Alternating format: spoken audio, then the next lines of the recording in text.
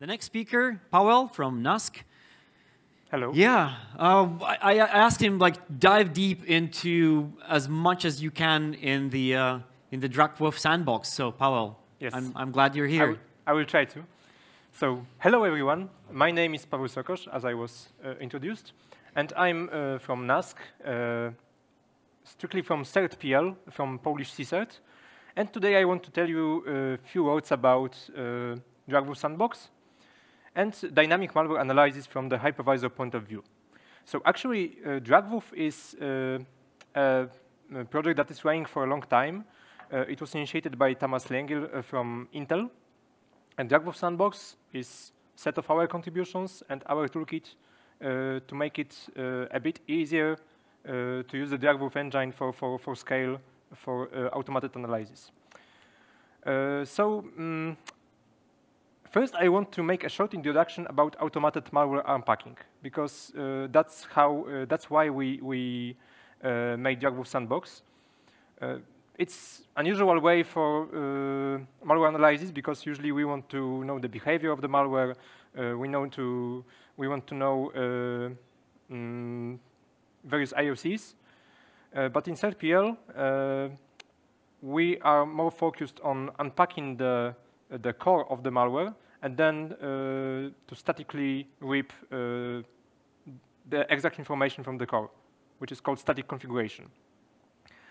Uh, next thing I want to tell you about is uh, how hypervisor level sandboxing is different from uh, agent-based sandboxes, uh, because it's pretty novice. it becomes popular, and actually we have great open source tools for that although it sounds scary uh, for, uh, yeah.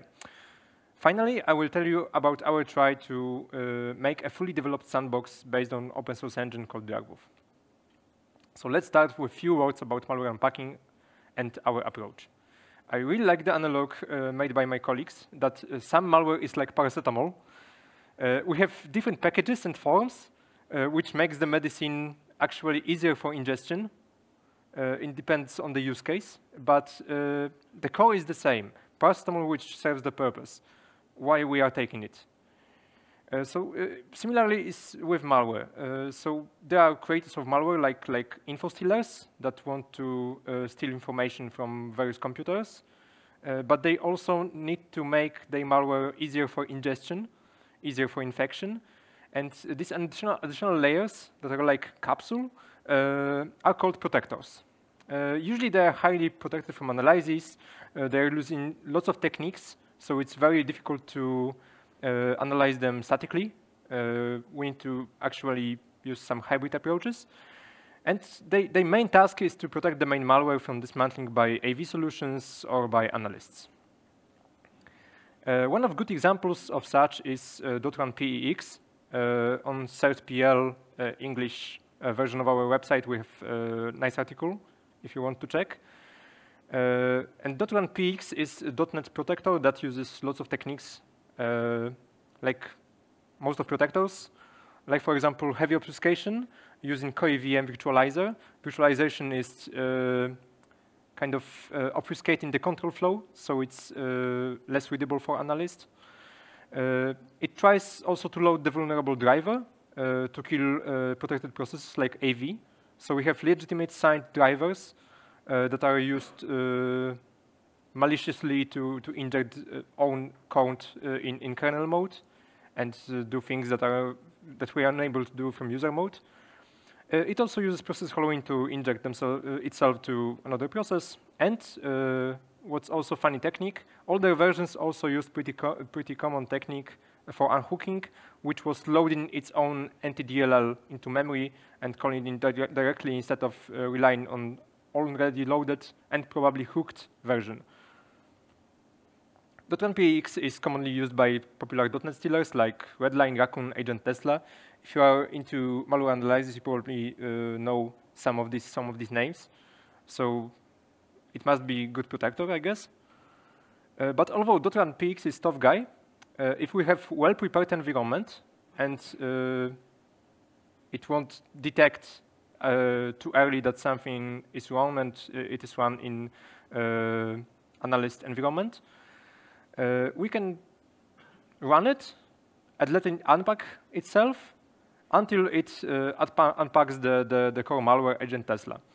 And so at some point in the memory, we have uh, the protected malware, the original malware, that usually is much uh, more poorly obfuscated. Like, okay, there are some string encryption, there is some uh, API call uh, redirection or something like that, but actually uh, it's, it's uh, good enough for static analysis. It's not changing that much. So if we have good extractor, uh, we can we can get lots of information from that so, but, but uh, if we want to do that, uh, we need to trace the execution and make memory dumps of uh, next layers until we get our unpacked sample. And as I said, then we can analyze it, uh, these dumps statically using Yara rules or dedicated scripts, or actually both. Uh, but the question is, and uh, here's the variety of techniques, how to actually dump these stages. Uh, because, okay, we assume that we are able to execute the whole chain uh, of layers, and we have a good environment, uh, stealth enough, uh, so so we finally have this uh, this uh, this final malware. But how do we know that we should make a dump, and which process? so one of technique is to make it randomly, for example, of of whole process memory. So we are tracking the injections and then we are randomly making uh, dumps uh, with hope that uh, at some point we will dump the, the, the core binary. but yeah, but we still need to track the infection. And what's worse, we get lots of useless data. another thing I have saw in some monitor uh, was to scan memory with Yara rules and dump matching things. So if you already have uh, Yara rules for agent Tesla, we can just scan the memory for, for agent Tesla in periods or when we see some new buffers. Uh, but it's specialized solution for, for malware we already know. And actually, we need a generic approach to dump also the unknown because uh, malware is still changing. We have new versions, and uh, we need to be sure that we have some artifacts for, for uh, reverse engineering and fixing our, our rules, for example. Uh, so Another approach is to dump only interesting memory.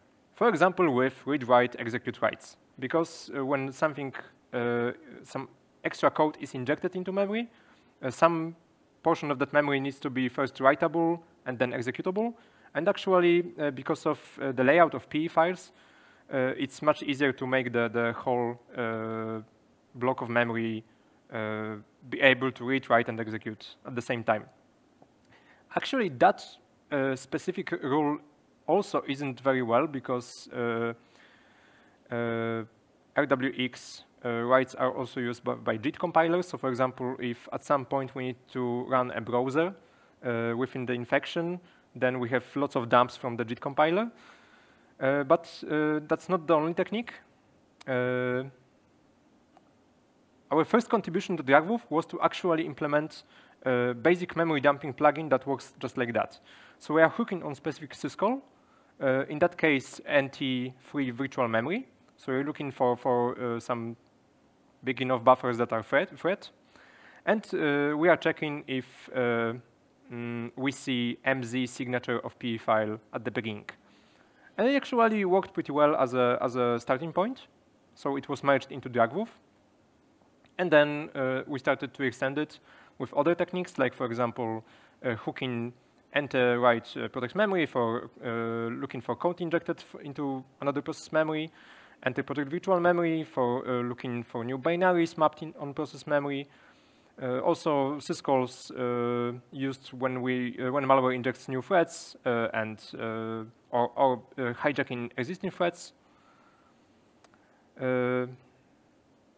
so that memdump plugin actually has pretty extensive capabilities. And here are some examples from our malware database system. Uh, so we actually uh, have the, uh, these dumps from the, from the un, uh, unpacked malware.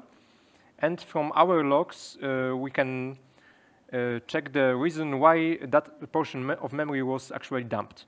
And for example, in that case, it is smoke loader that was dumped because of enter terminate process.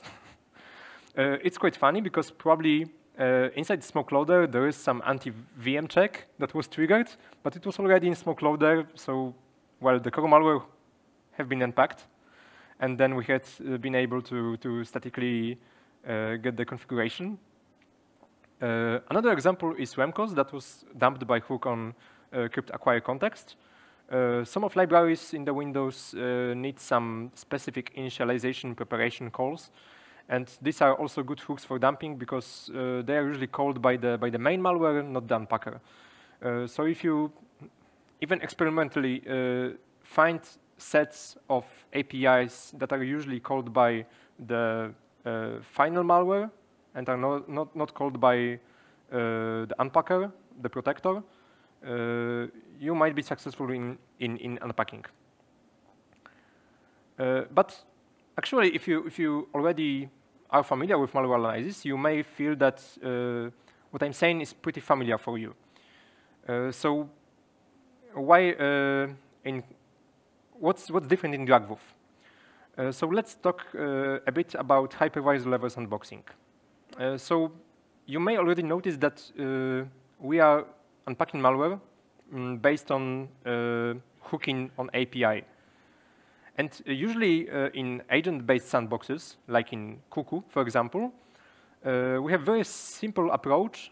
so there is some agent running on the VM that is actively communicating with the analysis manager on the host, and it is uh, doing all the job on the on the on the Windows side. So for example, uh, Analysis Manager sends uh, the uh, malware sample, the malware sample is executed, and then there are lots of tricks, uh, setting proper hooks and anti-anti-debug, anti-anti-VM detection tricks uh, to successfully monitor its behavior. Uh, but unfortunately, as they are running on the same LANT, it's kind of a cat and mouse game. it's pretty easy for malware to combat these hooks by making direct calls, and uh, these solutions actually rely on the fact that uh, they are step ahead of the malware. So, for example, Cuckoo is actively maintained, and uh, it is able to trick malware in a ways it haven't invented yet. but actually that technique, like uh, remapping NTDLL, actually killed our uh, user mode sandboxes for a while.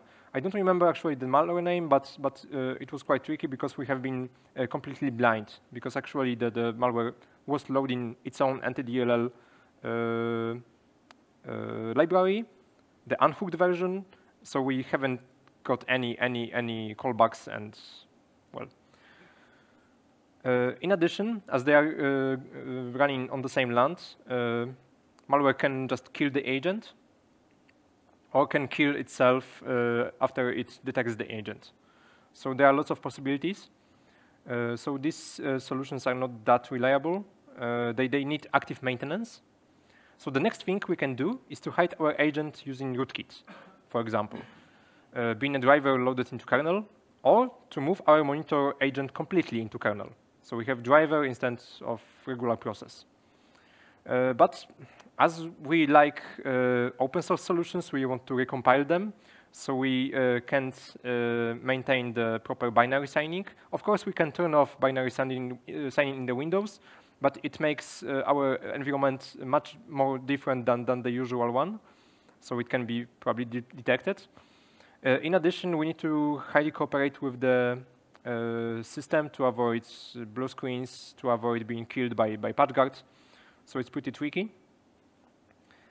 And finally, our protector also will use load driver to load itself to kernel mode and kill us. So we are still uh, on the same land, actually. And our cat and mouse game starts again. So the main idea behind agentless sandboxes is to move the monitor, move the agent to the host and trace the whole VM. And uh, it seems that it seems a bit scary, but actually hypervisors are really made for malware tracing. Because by design, they need to mimic behavior of the hardware. They need to emulate uh, some things. So they have multiple powerful capabilities to intercept and modify things uh, in stealthy, transparent for the guests way.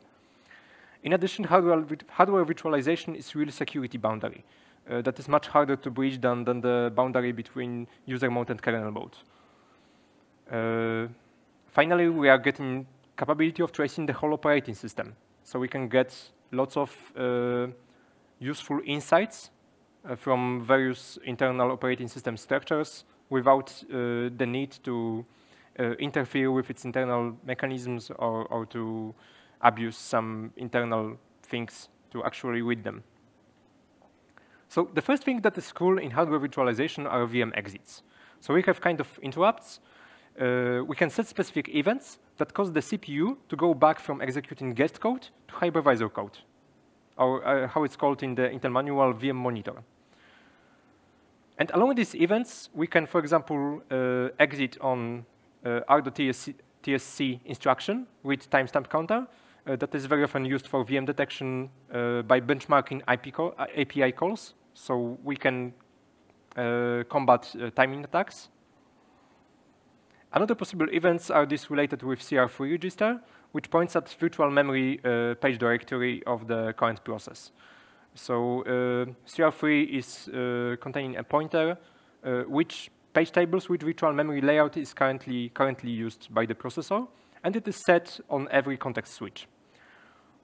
In addition, we have also capability to set uh, something called monitor trap flag to single step over instructions in case we need to uh, re-execute, in case, for example, for, of exception, uh, some instructions and, and um, get VM exit just after executing the next instruction. Of course, VM exits can be also caused by exceptions. Uh, exceptions like uh, page faults, protection faults, uh, software breakpoints, all kind of interrupts, uh, software interrupts in, in, in uh, x86. So actually, we have capabilities to make a debugger because we can make uh, memory breakpoints, software breakpoints, and all of these things can be done in stealthy way. Uh, also, we have uh, another VM exit triggers like CPU ID, and so on. And what's even better, in VTX, we have a nice addition uh, called extended page tables. Uh, because, OK, we can use software breakpoints, but software breakpoints rely on modifying the process memory to inject the int3 instruction. So malware usually scans, uh, for example, NTDLL for, for these software breakpoints. And if, we, if, uh, if it detects any, it stops working uh, because uh, hooking is detected. Uh, but uh, using extended page tables, we have another layer of virtual memory mapping. So we have translation between, not only between guest pages and physical memory frames, but also separate mapping for guest uh, memory frames and host memory frames. And that second mapping is completely uh, invisible for the guest. So guest sees only its own mapping made by uh, operating system, and we have also our internal mapping, hypervisor mapping that uh, maps guest frames, because they are not physically frames, uh, and uh, host frames well, they are physically frames, but uh, it's another, another level of abstraction. Uh, so how we can use it? Uh, so uh, it means that uh, we have two different uh, descriptors of the memory protection. One is guest side, made by operating system, and another one is hypervisor side. That can be different than that, than that guest one. So for example, even if guest uh, makes some memory executable, we can make, make we can make it uh, non-executable to trigger uh, uh, an exception when uh, CPU tries to execute something from that memory. And the trick is, if we want to put software breakpoint, we just make, make a copy of that memory, shadow copy, and uh, we modify the original memory, uh, put in the software breakpoint, and setting uh, protection bits uh, so that the memory is only executable. That's also a nice addition uh, to EPT, that we can make memory not readable, not writable, but only executable, which wasn't possible in the, in the um, previous layer. Uh, it means that uh, our uh, breakpoint is executed if it's part of the code stream, but if malware tries to override that, that, that, part of code, or just read, scan for, for these additional software breakpoints, we are getting the VM exit, and we can uh, switch uh, that frame to, to our copy that's original and uh, made only for reading and writing. Then we can uh, go over that instruction that is uh, reading that portion of memory, for example, using uh, our single trap, uh, single, yeah, monitor trap flag. And then we switch back to recover our breakpoint. So as uh, that second level address translation is uh, visible only for hypervisor, it's completely transparent for the guest. Uh, but the other scary thing we need to deal with uh, in uh, hypervisor monitoring is semantic gap. Actually, VM is for us uh, like black box. We are no longer we are no longer uh, synchronized with the system. We are no longer part of the operating system. We need to treat its memory as a black box. Uh, so we need to know where is kernel actually located in guest, which page table belongs to which process, uh, what is actually loaded into memory and what is paged out. And that's something that is called uh, virtual machine introspection. And once again, we have great uh, open source solutions for that. We have libvmi. that is a toolkit that allows us to introspect uh, the virtual machine in memory, uh, finding these crucial structures, and also to modify it. So we can uh, read all the mappings, all the all the things that are needed by by our uh, by our monitor. And actually, it's pretty rich. It has very rich API. Uh, it's it's C library. so we need to make our own tools on on that layer, but we can do lots of things. And in addition, we have some nice example tools, uh, like VMI process list that allows us uh, to um, list processes that are running in the Windows guest uh, from the hypervisor uh, point of view. So there are very nice examples included in libvmi, which makes it easier to use. Uh, but we still need uh, a good profile of the VM. And actually, it's very similar uh, to um, memory forensic techniques, like looking for things in, in the memory dump from VM. Because we are actually using the same tools, we are using PDB symbols, public symbols that are available from Microsoft Symbol Server. So first we read from the memory uh, the proper IDs, so we know the version of the libraries, the version of the kernel, and then we get a PDB symbol file to get specific offsets of specific types, method structures, and so on. And uh, first, uh, at first, libvmi uh, was stick to Rekall, the memory forensic framework, but they started use Volatility 3 right now. So we can generate profiles from PDB uh, to the digestible JSON form uh, using Volatility 3 internal toolkits. So it's actually pretty pretty nice. Mm, okay, so how it actually works? Uh, let's try with a demo. And uh, hmm, I had a small fault here because uh, I tried to set up a fresh upgraded instance from, from master, and I actually found some bugs. but I will try to, uh, to show you as much as I can. Uh, okay, so, but I will change the, the view. So, okay. Mm, First of all, how uh, the DRAKVUF looks like, how it can be used.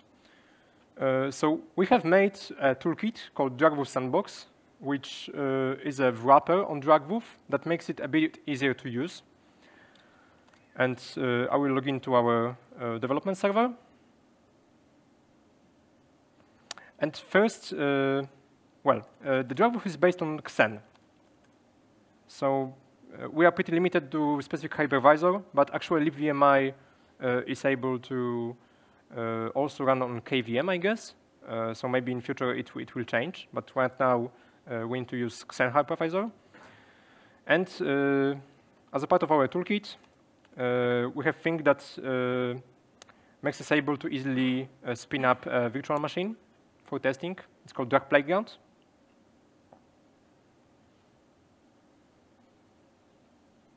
So it sets up uh, the network, uh,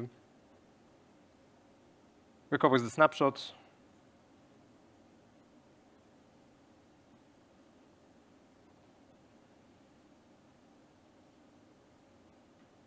Okay, it will take a while. okay, yeah. And it is based on IPython, so we have lots of nice commands. Like, for example, we can use uh, a very nice thing in, thing in DRAKVUF called injector that allows us to, to inject specific syscalls, uh, making us able to copy files onto VM or to uh, mount an uh, ISO. Actually, that's Xen. Or to run specific command inside the VM. So we can, so we can make kind of interactive shelf.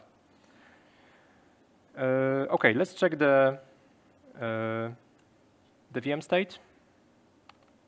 So we can connect to it using VNC. Well, it's development environment, so it's pretty slow, but that's Windows 7 and it's working. And uh, actually, uh, let's start with uh, seeing how the raw DRAKVUF looks like. So I will log in back to the development server. So actually DRAKVUF is command line uh, tool that involves very long command lines uh, pointing at uh, all of the things we need to we, we, we need to run. Uh, so DRAKVUF consists of the plugins. Uh, maybe I will show the okay, maybe that's the wrong window. If we go to the uh, repository, you can see that we can we have the lots of various plugins that are that are that are uh, serving different purposes. So, for example, uh, blue screen detection, uh, user mode API hooking, uh, CPU ID hooking, uh, crash detection, and so on. Actually, the list is uh, Uh, pretty long. So, in our command line, uh, we are choosing uh, plugins we want to use. Well, the format plugins, for example, Apimon, but maybe you can also use syscalls we are choosing the VM that is currently running, and we are providing a list of profiles. So this profile is made, made from volatility that are uh, pointing at specific offsets of the kernel and uh, specific libraries. In that case, I will try with only kernel 32 and kernel base. In addition, for Apimon, we have list of uh, user mode APIs that we want to hook on.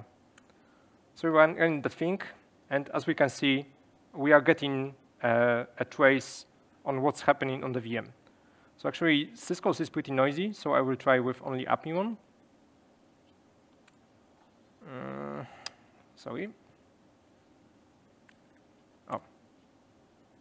So Apimon is a bit more silent, especially uh, if we have limited uh, list of hooks. But for example, we can run a Redis and if we're able to process it, all of, the, all of that stream, and for example, grab for specific processes, uh, we can find something in that trace. Well, it's really forcing the get tick counts. So yeah, so DRAKVUF itself isn't that convenient. Uh, that's why we need uh, another layer that is actually able to process all that output and make it more convenient for running uh, samples automatically. Uh, that's why we have uh, DRAKVUF Sandbox. Uh, okay. And DRAKVUF Sandbox comes with a nice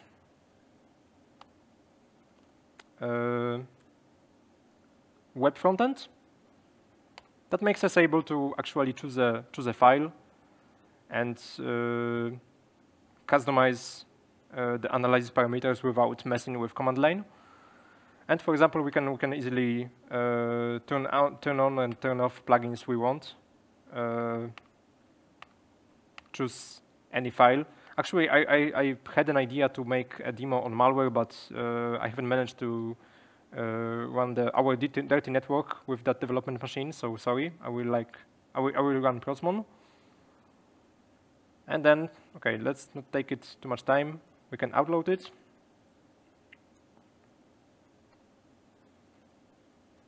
ensure that uh, the worker uh, that is running analysis is running, because it was probably stopped by the drakplayground.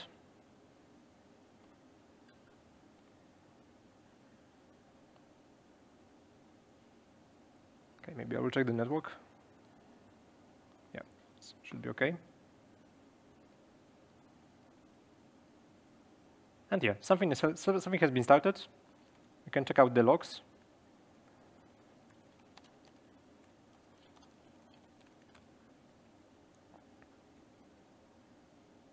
And in addition, uh, we have in the browser uh, the VNC view. So if you uh, provide VNC password that you can find in the config, or you can alter it to, to make it a bit easier to, to remember, we can actually see what's happening on the machine.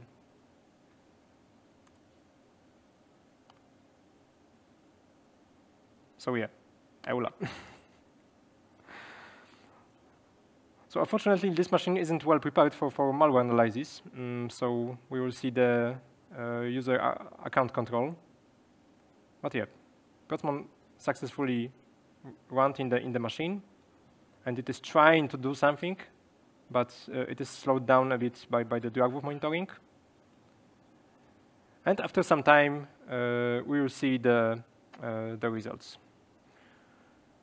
So I think we should close it right now because, mm -hmm, yeah, sure. Thank you, Demogods.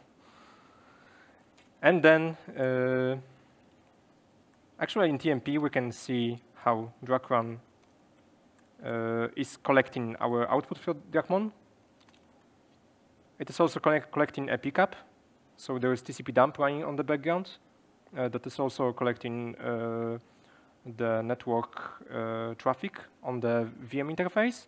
And in addition, there is a module called TLS-mon uh, that makes us able to get the TLS master key. Uh, but the most uh, important things are, are, in this trace. And then uh, this trace file is splitted uh, into separate trace files for, for separate plugins. So we can focus on, on specific plugin like apimon or, or something like that. So okay, actually that, that analysis is still working. So uh, in the meantime, I will show you uh, the how, how the artifacts from that sandbox looks like, uh, actually from the production, from the, from the malware. Uh, so I prepared uh, some analysis from our uh, production sandbox. And we are getting files like that that are showing as output from, uh, from specific plugins, like for example memdump plugin or exmon plugin. Uh, exmon is sometimes uh, pretty interesting because uh, in some malwares we have exception-driven control flow, so uh, it's valuable for, for researcher very often. Uh, and also the apimon. Well, that, that output is pretty raw, uh, but still more convenient than, than the big file from, from the DRAKVUF. Mm, but the most important fix for us are dumps. And uh, in the dumps catalog, we have uh, dumped portions of memory, contig contiguous portions of memory. Uh, we see the base address and the hash of the contents. So we have uh, the, the application. And in addition, some metadata uh, that can be also correlated with, the, with that memdump log uh, that are uh, showing the reason why the memory was dumped. So actually, actually we can run uh, on, on, that, on that directory, and we can see that, for example, Remcos has been matched. For the other analysis, analysis um, well, we see, uh, okay, maybe without strings, it will be more readable. We actually see smoke loader and Qakbot, but uh, uh, if you see the strings, uh, that Qakbot rule is just uh, not strong enough, and we have found some SHA-1 hash constants, so that was, was positive. But smoke loader, actually, there is smoke loader, so.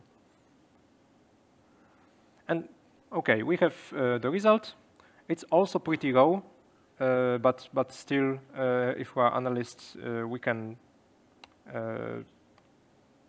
consume that data uh, using other tools and check uh, what happened, for example, why our malware isn't dumping anymore.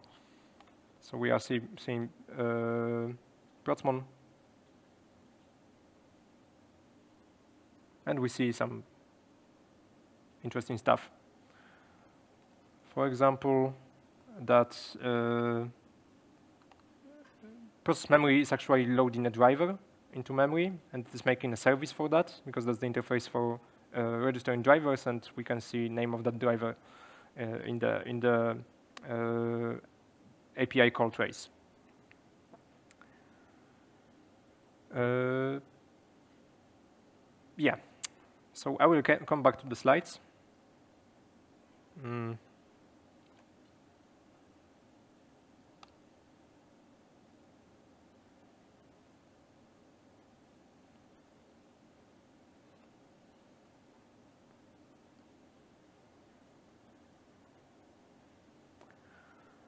So that was DRAKVUF Sandbox, uh, which was our try to make an actual sandbox solution.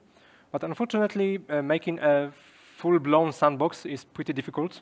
So we have been focused. so we have focused mainly on dumping capabilities. But the project is there.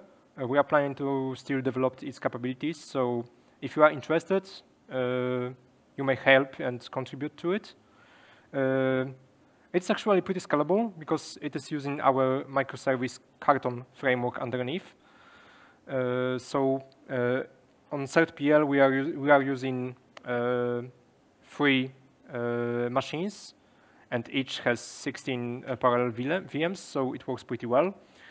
Uh, right now, only the one machine is used because we are doing some development, and we, ha we have tried to make some upgrades, but yeah, it, it was able to run uh, 38, uh, 48 machines in parallel and worked pretty well. Of course, there are some bugs uh, because the project is not uh, that much maintained like before. Uh, you may see the Adios edition uh, because the original team left uh. But I'm still there, so I'm trying to make commits, make presentations, and I hope it will be much better with the time. Uh, thanks uh, for all the contributors. We have also some Google Summer of Code projects where uh, students have making additional uh, features in the DRAKVUF Sandbox, and it also went pretty well. I uh, recommend you to, to check out uh, our CERT.PL page because there are articles made by them. Also, huge thanks for, for, the, for all the contributors. Mm, without them, it wouldn't be possible.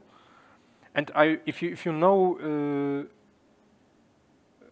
if you want to know more uh, the internals of the DRAKVUF, I really recommend you that presentation from Confidence. It is on YouTube, uh, made by the previous team.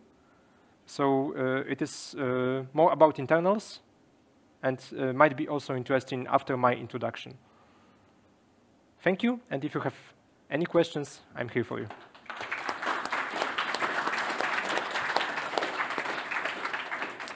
So thank you for the presentation. We'll start with the ones who are here with the questions. Fernando.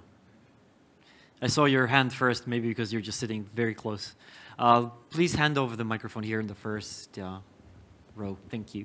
So I'll, I'll be very brief. And I just wanted to know, is DRAKVUF still limited to physical machines? Yes, unfortunately, yes. Uh, because, yeah, that's something I should tell on the slides. Uh, the disadvantage on hypervisor-based uh, monitoring is that uh, we unfortunately are really close to the virtualization internals. So it doesn't work that good yet on nested virtualization.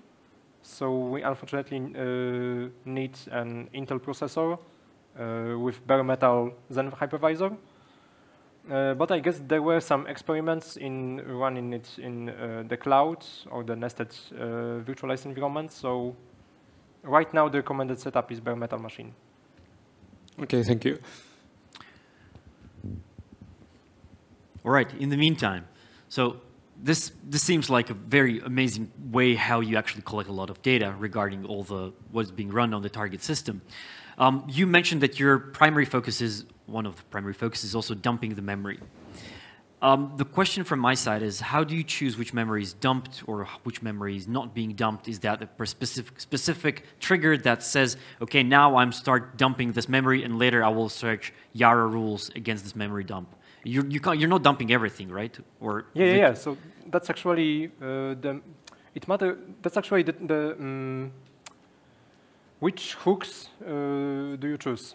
So we, we try to, uh, actually I shown you uh, some of these triggers on slides. Like we are focusing on specific syscalls that nice. we uh, found characteristic for uh, unpacked memory, and we are trying to, to dump mostly these syscalls. This, this, this memory that is related with these syscalls. All oh, that makes, makes so sense. we are doing, so we are uh, checking the stack trace, for example, we are scanning the stack, to find, uh, for example, the color, and then we are dumping the memory related, related with the color. So yeah, right. that matters. We don't uh, want to have too much noise, but we still want to have the unpacked malware there. Ah, perfect. So in, in this case, also the detection mechanism, the detection of the if the mal if it's malware or malicious behavior, it's not there, right? It's based on Yara rules, as I understand. There is no other heuristics or additional analysis just besides running the Yara rules or trying to figure out if it's malicious or not. Currently, I understand you're collecting as much data as possible, and then it's up to the analyst or the next in the pipeline solution to detect if it's malicious or not. Or do I misunderstand that? Yes, yes, yes. Our use case is pretty specific because uh, we are malware researchers focused mostly on threat intelligence. Right. So we don't need such indicators. But I guess uh, the tool is, uh, we, you can actually build something like that on top of DRAKVUF. Mm. So it should be possible. In our case, uh, we haven't just done it because uh, it wasn't that much needed for us. Uh, there was something that I heard about you mentioning TLS-mon and extracting the TLS key. Uh, do I understand correctly that this is, if that is related to the network communications, you yes. can decipher everything? Yes, so we can dissect the, the TLS, having dumped this, these master keys. Oh, this is amazing. Right. So any, any more questions from, from the audience? All right, if there are no questions, I would like to thank Paweł for the, uh, for the presentation and for continuing development work on the, on the DRAKVUF. So you get a coin this is the 10th anniversary coin and a box of chocolate. Let's give a Thank applause. You. Thank you.